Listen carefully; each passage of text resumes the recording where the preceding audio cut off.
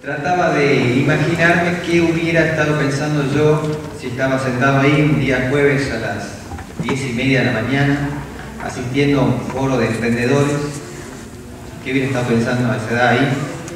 Hay ciertos pensamientos que no se pueden decir acá públicamente, pero había dos que eran como muy... volvían todo el tiempo. Uno sería, generalmente le estaría diciendo al compañero que está a la par, qué linda que está la chica en tal lugar, sería lo primero. Y lo segundo sería, ojalá que esto sea divertido. De verdad, ojalá que sea divertido y si no es divertido, que sea corto.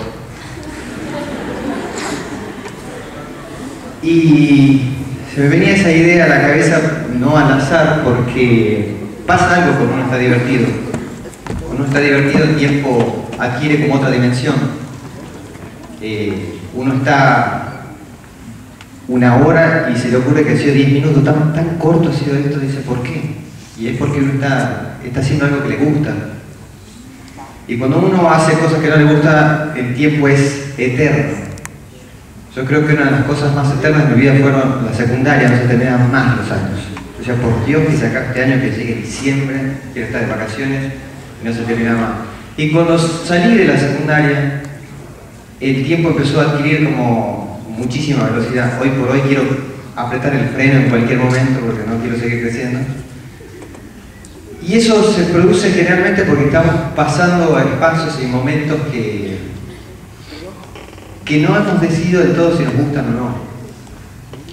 Y supongo que el tiempo empezó a pasar muy rápido en mi vida en el momento en que empecé a hacer lo que quería hacer. Y es, es muy interesante eso. Y lo que uno quiere ser, lo que uno quiere ser, eh, no tiene por qué ser aburrido. Yo desde el comienzo supongo que por un montón de cosas desde que era muy chiquito siempre eh, supe, no supe, quería ser actor. Supongo que no, lo tenía muy, este, muy consciente esto de que quiero ser actor. Pero había signos ahí que daban vuelta, me andaba disfrazando todo el tiempo, siempre estaba haciendo cosas con, con mis amigos.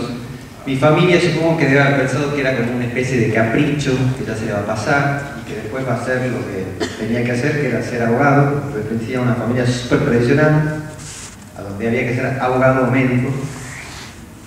Y cuando terminé la secundaria el capricho no se pasó, lo tenía muchísimo más claro, quería ser actor.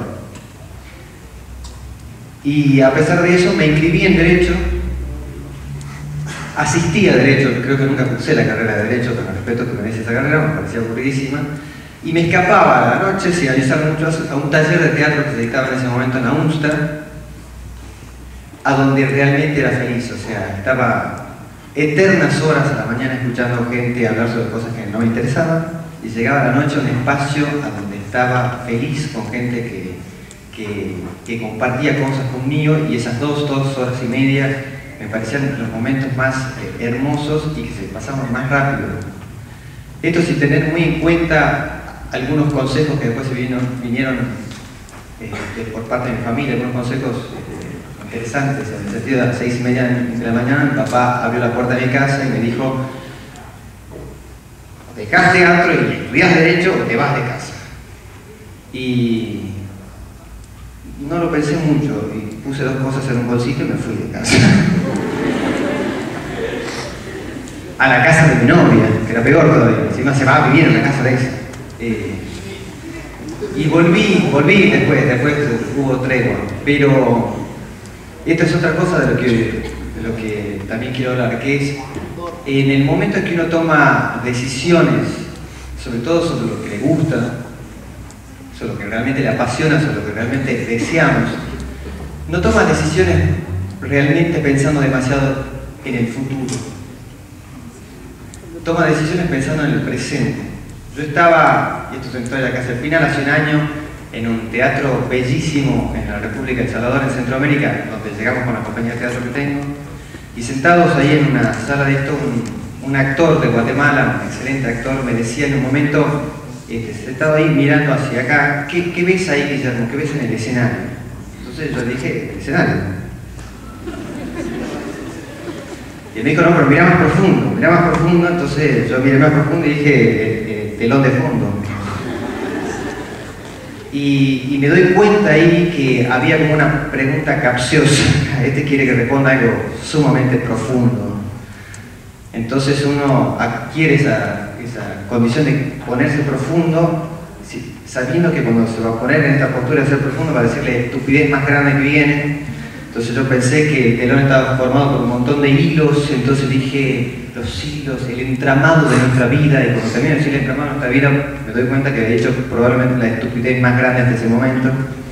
Y él me mira, este, asintiendo la estupidez más grande de nuestra vida. Y él me dice una cosa que me pareció estupenda. Eh, hacia adelante, lo que está hacia adelante es el pasado. Nosotros hacia adelante tenemos el pasado y atrás, por obviedad, tenemos el futuro y no lo podemos ver. No hay ninguna manera de ver el futuro. Lo único que podemos ver es el pasado que está adelante y el presente. Y hay gente que se pasa la vida tratando de ver el futuro. Pero nadie tiene idea de lo que va a pasar en el futuro. Nadie tiene idea. En el año 90 eh, no existía la telefonía celular y cuatro años, cinco años después este, la gente se comunicaba con el capitán Kirk por celulares y yo estoy seguro que si alguien me pregunta en el año 90, la gente que estaba en el año 90, si tenía idea que se iba a poder comunicar por celulares, hubiera dicho, no tengo idea. Y se pasa la vida, insisto, este, tratando de buscar eso que no podemos ver. Y yo supongo que las mejores decisiones de mi vida las he tomado cuando dejé de pensar en el futuro. Y esto no significa no tener sueños, no tener ideales, no tener aspiraciones, no, significa para nada eso. Significa dejar de pensar mucho en un futuro que en realidad no sabemos qué pasa y que sería hermoso que nos atraviese como tiene que atravesar. Así que cuando yo dije que quería ser actor y me fui de casa, nunca había tenido en cuenta qué iba a pasar en el futuro. Y posiblemente desoyendo consejos muy bien intencionados de mi familia que decía, ¿de qué vas a vivir? Eh, no tengo idea. Pero si hubiera tenido en cuenta eso, hoy por hoy vivo esto jamás hubiera tomado esa decisión. Había visto el presente, había visto qué es lo que yo quería, qué es lo que yo deseaba, qué es lo que me apasionaba.